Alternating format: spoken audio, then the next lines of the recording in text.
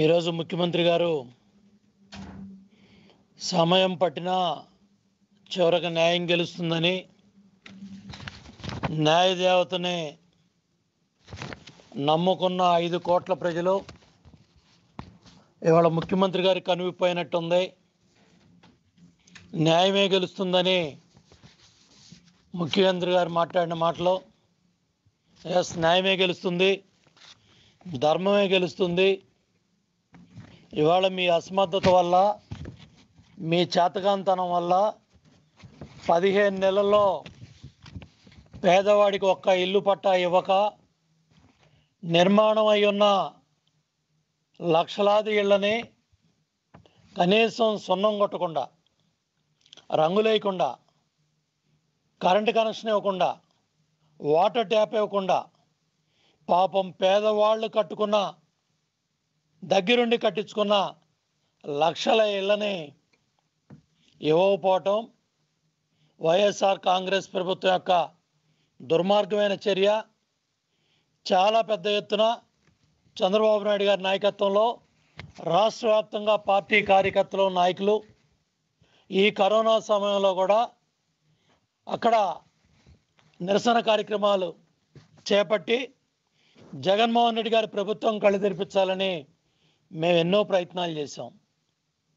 మరి ఎందుకు ఆ లక్షలాది ఇళ్ళు కట్టిన పేదవాళ్ళ ఇళ్ళు? పేదవాడు అపార్ట్మెంట్లో ఉండటం జగన్మోహన్ రెడ్డి గారు చూడలేకపోతున్నారా?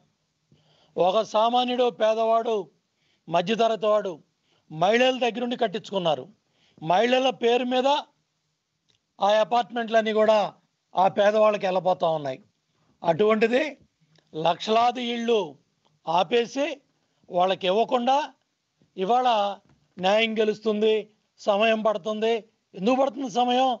మీ అసమర్థత వల్ల మీ చేతకాంతనం వల్ల మీ దుర్గం దుర్మార్గం వల్ల. మీరు ఎక్కడిస్తా ఉన్నారని నీళ్ళ పట్టాలు? మీ సెంటు పట్టాలు? మీ బంగ్లాలేమో వందలాది ఎకరాలు ఉండాలి. అది లోటస్ పాండ్ కావచ్చు బెంగళూరు ప్యాలెస్ కావచ్చు ఇటు తాడేపల్లి రాజప్రసాదం కావచ్చు. ఇప్పుడు నిర్మాణం అవుతున్న విశాఖపట్నం గెస్ట్ హౌస్గా రాజభవనం కావచ్చు. మీ రాజభవనాలు మీ ప్యాలెస్లు మీ ఇళ్ళన్నీ వందల ఎకరాల్లో ఉంటాయి. పేదవాడికి ఇచ్చే ఇళ్ళ స్థలం మాత్రం సెంటు పట్ట. రెండున్నర సెంట్లు ఇచ్చేవాళ్ళం తెలుగుదేశం ప్రభుత్వంలో రెండు సెంట్లు ఇచ్చేవాళ్ళం సెంటున్నర ఇచ్చేవాళ్ళం.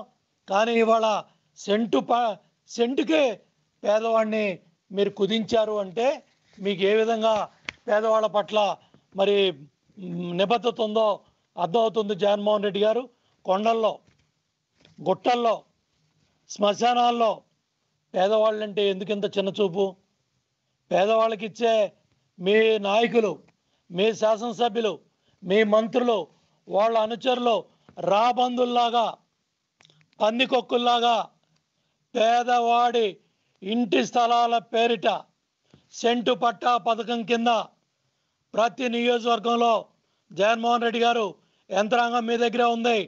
చాలా స్పష్టంగా అటు గోదావరి జిల్లాలో ఆవ నాలుగు అడుగుల నుంచి పన్నెండు అడుగుల దాకా నీళ్ళలో నిలబడి మొన్న ప్రజలంతా కూడా మా నాయకులు మా శాసనసభ్యులంతా కూడా మీ ప్రభుత్వం కళ్ళు తెరుచుకునే విధంగా ఆవు భూముల్లో దగ్గర దగ్గర ఆరు వందల ఎకరాల్లో ఐదు వందల కోట్ల అవినీతి.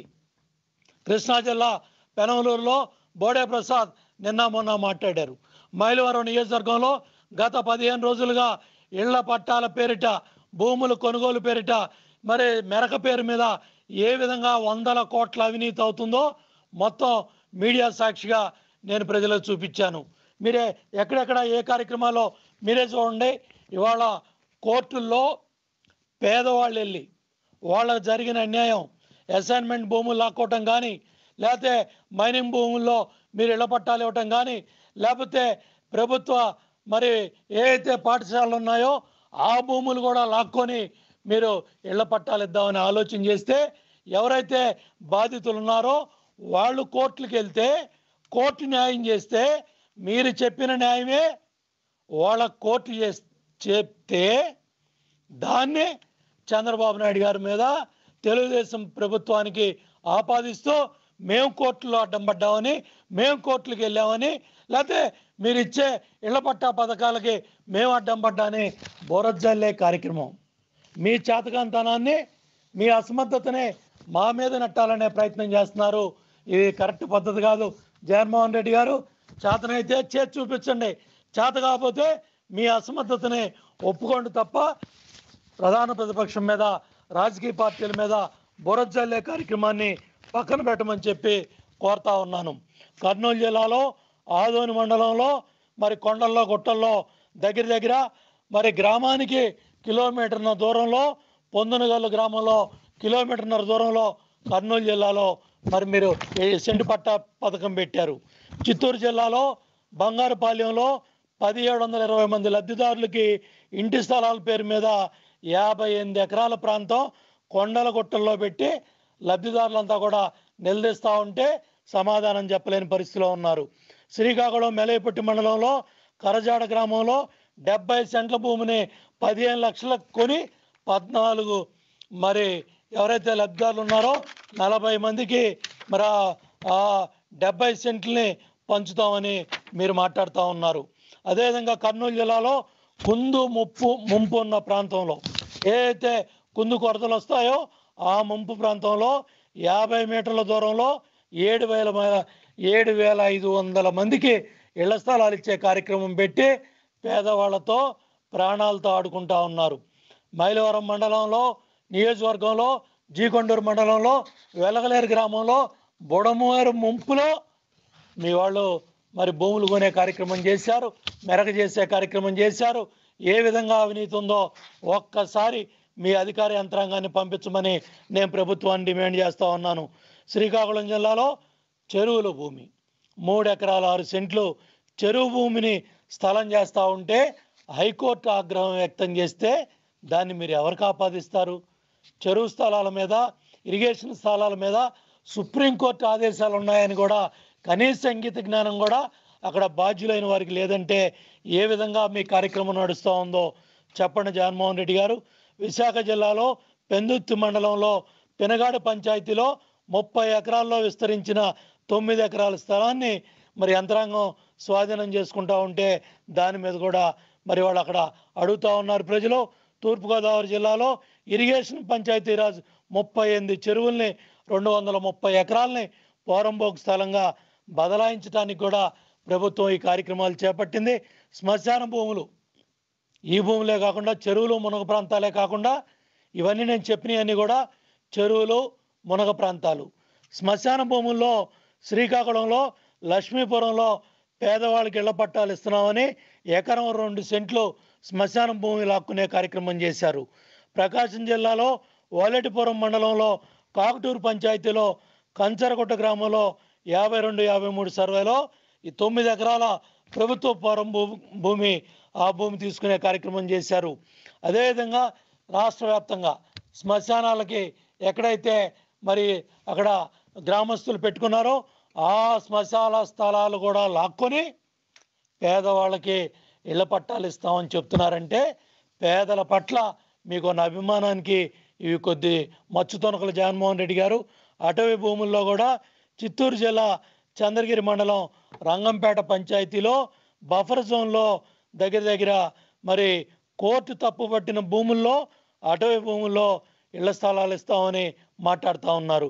మడ అడవి భూములు కూడా మరి మడ ఆవు భూముల్లో కూడా ఇందా నేను చెప్పాను ఆరు వందల ఎకరాలు ఐదు వందల కోట్ల అవి మరి అవినీతి జరిగింది. మరి ఇవాళ మీరు ప్రభుత్వం అక్కడ జరిగిన సంఘటనలన్నీ కూడా మా నాయకులు చూపిస్తే ఇప్పుడు దాకా ప్రభుత్వం నోరు తెరవలేదంటే మీ ప్రభుత్వం యొక్క మీ నాయకుల యొక్క అవినీతి బట్టబయలవుతా ఉంది. మైనింగ్ భూముల్లో ప్రకాశం జిల్లాలో పదమూడు వందల ఎకరాలు మైనింగ్ భూమిలో కేటాయింపులు చేస్తే హైకోర్టు స్టే ఇస్తే దానికి కూడా మమ్మల్ని తప్పు పెట్టే కార్యక్రమం చేస్తా ఉన్నారు. చివరికి ఎంత దుర్మార్గం అంటే పశువులు మేసే భూముల్లో కూడా ముప్పై ఒక్క ఎకరాలు చిత్తూరు జిల్లాలో అదినపల్లి సర్వే నెంబర్లో పశువుల మేత కోసం ఏదైతే భూముల్ని గవర్నమెంట్ చెప్పిందో హై ఏదైతే రెవెన్యూ బోర్డు కానీ స్టాండింగ్ ఆర్డర్స్ కానీ ఏ మాత్రం పట్టించుకోకుండా మీరు చేసిన కార్యక్రమాలకి ఇవాళ కోర్టులు తప్పుపడితే దాన్ని కూడా మీరు ఇవన్నీ కూడా ఈ క్లాసిఫికేషన్స్ మీ ఇష్టారాజ్యంగా మార్చేస్తున్నారని కోర్టులు తప్పుపడతా ఉంటే కోర్టులకి సమాధానం చెప్పలేక కోర్టులకి సమాచారం ఇవ్వలేక మీరు ఇవాళ ఈ నిర్ణయాలని మాకు ఆపాదించి మమ్మల్ని తిట్టే కార్యక్రమం చేస్తున్నారు జగన్మోహన్ రెడ్డి గారు. ఇవాళ ఇవన్నీ కూడా మీ ప్రభుత్వం యొక్క నిర్లక్ష్యంతో. మీ నాయకుల అహంకారంతో పశువుల మేతని కానీ మైనింగ్ భూములని కానీ స్కూళ్ళ భూములని కానీ పిల్లలు చదువుకునే స్కూల్స్ భూములని కానీ శ్మశానాలని కానీ చెరువులని కానీ కుంటలని కానీ ఏ మాత్రం కూడా పట్టించుకోకుండా చివరికి పాఠశాల ఆట స్థలం కూడా చిత్తూరు జిల్లా వీకోట్లో చినగనపల్లి పంచాయతీలో లింగాపురం జడ్పీ హై స్కూల్ ఆట స్థలాన్ని కూడా లేఅవుట్ చేశారు వీటన్నిటికీ సమాధానం చెప్పమని నేను డిమాండ్ చేస్తా ఉన్నాను.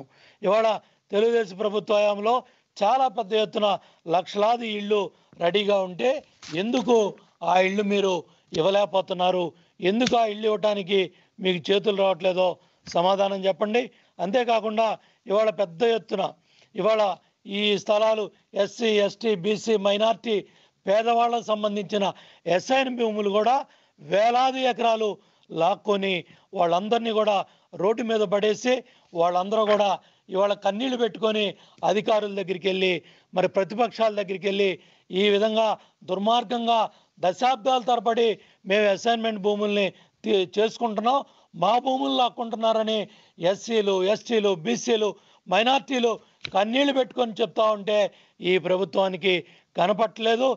ఈ ప్రభుత్వానికి తెలియట్లేదు. అయా ముఖ్యమంత్రి గారు ప్రతి నియోజకవర్గంలో కూడా యాభై కోట్ల నుంచి వంద కోట్లు తగ్గకుండా మీ శాసనసభ్యులు మీ మంత్రులు మీ నాయకుల తాలూకా అనుచరులు పందికొక్కులాగా ఈ ఇంటి స్థలాల పేరిటి మీద సెంటు పట్టా పథకం కింద మేరు మీద ఉపాధి హామీ డబ్బులు పంచాయతీరాజ్ డబ్బులు ఈ విధంగా వందల వేల కోట్ల దోపిడీ జరిగింది.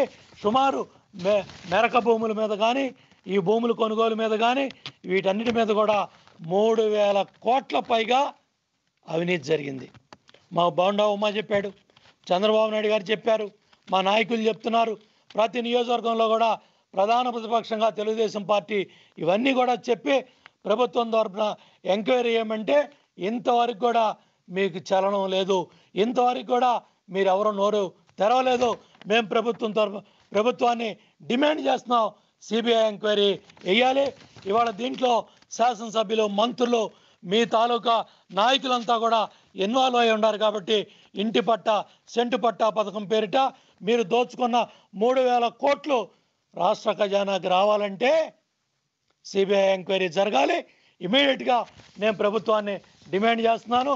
దగ్గర దగ్గర ఒకరోజు మీటింగ్లో జగన్మోహన్ రెడ్డి గారు చెప్పారు ఏడు వేల ఐదు వందల కోట్లు మేము డబ్బులు ఖర్చు పెట్టామని. తర్వాత పదిహేను వందల కోట్లు ఖర్చు పెట్టామని అధికారులు చెప్పారు. మొత్తం దగ్గర దగ్గర తొమ్మిది వేల కోట్ల రూపాయలు ఏ అయితే ఈ డబ్బులు మీరు ఖర్చు పెట్టారో వీటిల్లో మూడు వేల కోట్ల పైగా అవినీతి ఉంది. ఇవన్నీ కూడా బయటికి రావాలంటే మళ్ళీ ఆ డబ్బులన్నీ కూడా రాష్ట్ర ఖజానాకు రావాలంటే సిబిఐ ఎంక్వైరీని డిమాండ్ చేస్తున్నాం. సమాధానం చెప్పాలని నేను ప్రభుత్వాన్ని మంత్రుల్ని ముఖ్యమంత్రి గారిని డిమాండ్ చేస్తా ఉన్నాను.